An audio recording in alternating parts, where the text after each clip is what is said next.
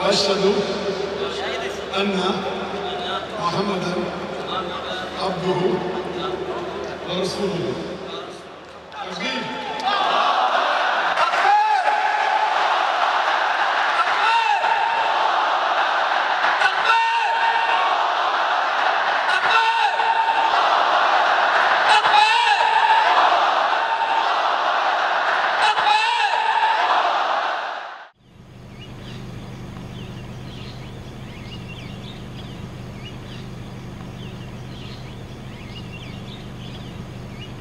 أشهد أن لا إله إلا الله وأشهد أن محمدا عبده ورسوله of Allah. nggak sengaja sih mas kebetulan nah pertama sih iseng gitu loh jadi dari isengnya itu kan di kantor kebetulan kalau misalkan sepi nggak ada job gitu mungkin lihat YouTube. Nggak sengaja mungkin buka Jakir Nek tentang debat-debat pertama. Dia debat sama pendeta Hindu itu. Nah ke- saya semakin hari itu semakin kepo istilahnya pengen tahu gitu. Ternyata ada salah satu dia debat sama pendeta gitu. loh bahwa sebenarnya Yesus itu tidak mati dan ada di Alkitab juga. Eh, ada di Alkitabnya saya kurang paham. Cuma pernah saya baca itu saya buka Alkitab memang ada apa yang dijelaskan oleh Zakir Nek di tersebut gitu. Dan di Al-Quran sendiri bahwa Yesus tidak mati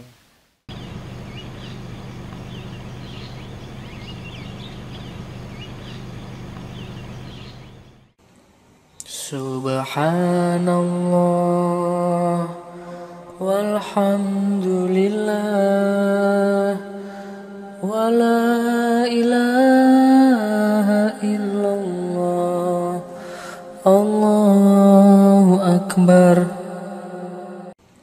Subhanallah. Sebenarnya ingin masuk Islam udah lama.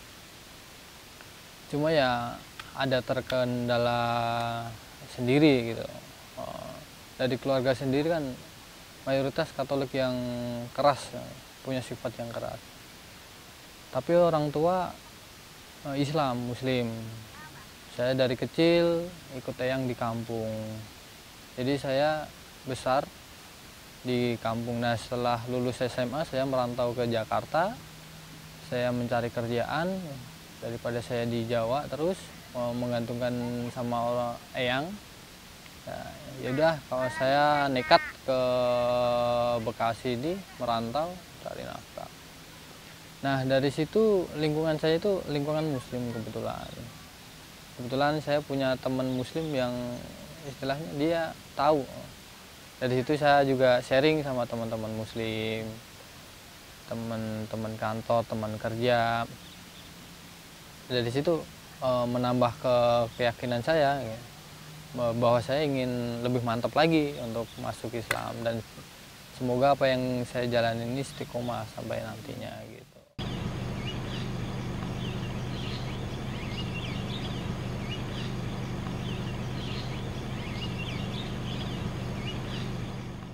Sebelum masuk Islam, rencana saya pengen meyakinkan keluarga dulu. Yang mayoritas kayak Pak De Bude kan di sini ada Pak De Bude meyakinkan mereka bahwa saya itu pengen hijrah menjadi lebih baik lagi. Apa salahnya sih? Nah, Cuma ya sudah, apa jalannya Allah udah dikasih, mungkin udah dikasih tahu duluan mereka. Ternyata beda seperti apa yang saya pikirkan gitu loh. Saya pengennya baik-baik cuma keluarga ya istilahnya ya sudah kalau kamu pengen hijrah, kamu pengen pindah agama, silahkan kamu pergi. Ya istilahnya uh, kecewa mungkin. Ya saya sih juga saya tidak pernah merasa kecewa sama keluarga saya. Saya justru berterima kasih karena saya pertama datang merantau itu mereka menerima saya. Cuma sekarang saya udah sudah bekerja, ya mungkin ini saatnya saya mandiri sendiri dan eh, saya menjalankan dengan agama saya yang baru ini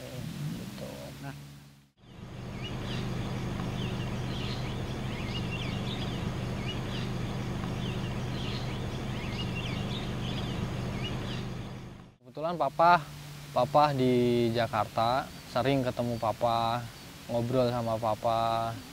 Ya papa alhamdulillah ngedukung, orang tua ngedukung, ketemu mamah, ke- ketemu mamah juga sering. Cuma sekarang kalau mamah kandung di Jawa, soalnya papa sama mamah itu pisah. Jadi saya cerita sama mamah saya yang kandung, Alhamdulillah mama saya juga menginginkan seperti apa yang dia inginkan. Jadi ya orang tua ngedukung cuma ya masih keluarga lah, masih membekas mungkin kecewanya. Ya saya sih juga ah ya sudahlah mungkin nanti suatu saat mereka diberi hidayah seperti itu.